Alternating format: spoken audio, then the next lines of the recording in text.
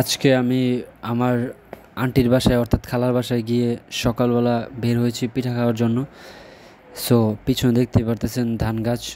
সব মিলিয়ে ওয়েদারটা কিন্তু অনেক সুন্দর এবং আমি আজকে কিন্তু ব্ল্যাক এবং ইয়েলো মানে কালো আর হলুদ টি শার্ট মিশ্রিত পরেছি। সো কেমন লাগছে সেটা কমেন্ট করে জানাবেন।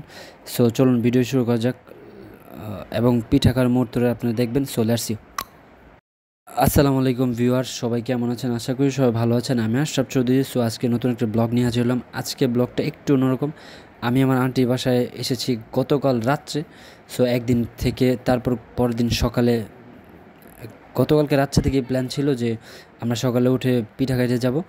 সো আমার সাথে আমি এখানে আমার তিন চারজন আছে। সো আমি সামনের ক্যামেরা চলে আসলাম দান খেতের দৃশ্য আপনাদের সাথে শেয়ার করার জন্য। সো যেই ঝলমলে যে রোদ উঠেছে মারাত্মক সুন্দর এবং আমাকে এই টি শার্টে কেমন লাগছে সেটা অবশ্যই কেমন করে জানাবেন। সো আমরা এখন যাচ্ছি হলো পাথরপাড়া, শেখারচর পাথরপাড়া মানে পাঁচদোনা থেকে সোজা রাস্তায় যাওয়া যায়। তাছাড়া আপনার পাঁচদোনা খালপাড় থেকে সোজা রাস্তায় যাওয়া যায়।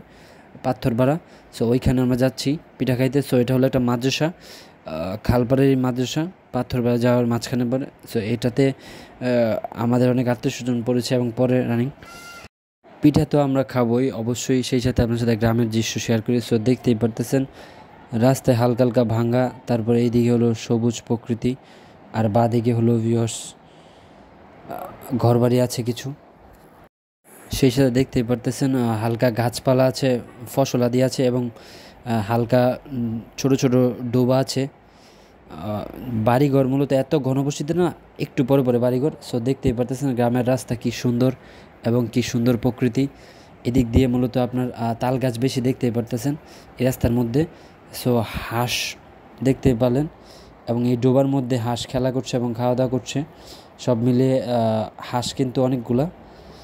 সো দাঁড়িয়ে এই পুরো দৃশ্যটা আপনাদের দেখানোর জন্য ভিডিও করা। সো আমরা চলুন সামনের দিকে যাওয়া যাক। এই রাস্তাটার পরিবেশটা কিন্তু অনেক সুন্দর। সো আমরা চলে আসলাম আরেকটা রাস্তায়। এই রাস্তাটা অনেক সুন্দর, তাই আপনাদের সাথে ভিডিও করে দেখা। সো আমরা এখন ডানে যাব। সো এটা একটা তাল গাছ। সো এদিক দিয়ে ফসলের জমি আছে, দেখতে পারতেছেন। ধান ক্ষেত মানে আমাদের ডানেও ধান ক্ষেত, বামেও ধান ক্ষেত। মাঝখানে কিন্তু আপনার রাস্তা। যে রাস্তাটা কিন্তু আপনার অনেক সুন্দর এবং রৌদ্র পড়েছে, সেই সাথে অনেক সুন্দর দেখাচ্ছে, হলদে হয়ে গেছে। যেহেতু ধান পেকে আসছে আস্তে আস্তে, সেহেতু রৌদ্র যখন ধানের মধ্যে পড়ে, তখন পরিবেশটা মারাত্মক সুন্দর দেখায়। সো আগেই বললাম, আমি একা না, আমার সাথে আরও লোক আছে, তিন চারজন সো একটা ব্রিজ আছে ব্রিজটা বার করতেছি। সো যেহেতু সকালবেলা, সেহেতু আমরা হেঁটেই যাচ্ছি। কারণ হলো ভিউয়ার্স রাস্তাটা একটু বড় হলো, হেঁটে যাচ্ছি, কারণ হলো সকালবেলার ওয়েদারটা ফিল করার জন্য। আসার সময় আমরা রিক্সা দিয়ে চলে আসব। এই পুকুরগুলো দেখতে পাচ্ছেন, এই পুকুরগুলোতে মাছ চাষ করা হয়। সো দেখতে দেখতে আমরা চলে এসেছি পিঠার দোকানে। এটা হলো পিঠার দোকানের সামনের রাস্তা, পাথর বাড়ার এই রাস্তাটা অনেক সুন্দর এবং মেরামত করা হয়েছে মানে সুন্দর করে করা হয়েছে এই রাস্তাটা। আপনি শেখারচর থেকে ওই দিক দিয়ে আসতে পারেন এদিক দিয়ে আপনার ঢাকা যাওয়ার রাস্তা সোজা, এই যে আমার হাতের বামে। আর এটা হলো ডানে পড়ছে এই দিক দিয়ে আপনার সামনে সাজন পার্ক আছে। আমি অবশ্যই সাজন পার্কের ভিডিও করেছি, আমার চ্যানেলে আছে। সো আপনারা অবশ্যই সাজন পার্কের ভিডিও দেখবেন, সাজন পার্কটা কিন্তু অনেক সুন্দর। সো দেখতে দেখতে আমাদের পিঠা কিন্তু চলে এসেছে। সো দেখতে পাচ্ছেন ডিমের পিঠা। উপরে দুই তিন রকমের ভর্তা দেওয়া আছে। ডিমটা আমার দিকে চেয়ে আছে, দেখতেই পারতেছেন। তাকে কোন সময় খাব? সো আমারটা ছাড়া আমার ছোটো ভাইয়েরা কেউ পিঠা নিয়েছে, কেউ রুট নিয়েছে কেউ আবার শুধু ডিম নিয়েছে। সো সব মিলিয়ে বলতে পারি একটা আনন্দময় মুহূর্ত। সো এখানে পিঠা খেয়ে যেটা মনে হলো যে, সেটা হলো যে, আপনার স্বাদ ঠিক আছে পিঠার বাট আপনার দামটা একটু বেশি, অন্যখান থেকে একটু দাম বেশি। স্বাদটা ঠিক আছে মূলত। সো দেখতেই পারতেছেন ডিমটা মূলত হয়েছে, ভালোভাবে হয়েছে। সো দেখতে দেখতে প্রায় খাওয়া শেষ প্রান্তে। সো আমরা এখন আছি হলো পাথরপাড়া পিঠা খেতে এসেছি সকাল সকাল। এই পিঠার স্বাদ কিন্তু মোটামুটি ভালো। সো ভিউয়ার্স আপনারা কিন্তু আমার চ্যানেলের মধ্যে জমিদার বাড়ি, রাজবাড়ি, তারপর হলো বিভিন্ন ভ্রমণ ভিডিও তারপর হলো পার্ক আরও অনেক ভিডিও পেয়ে যাবেন, যেটা কিনা আপনারা দেখলে অনেক লাভবান হবেন, অনেক কিছু জানতে পারবেন, অনেক কিছুর সাথে আপনারা সামিল হতে পারবেন। সো এটা কিন্তু একটা বাজার সিস্টেম এটা কিন্তু একটা বাজারই বলা যায়। আমরা যেখানে আছি পাথরপাড়া বাজার সিলিন্ডারের দোকান আছে ভাজির দোকান দেখতে পাই, একটা লোক ফুচকা নিয়ে যাচ্ছে।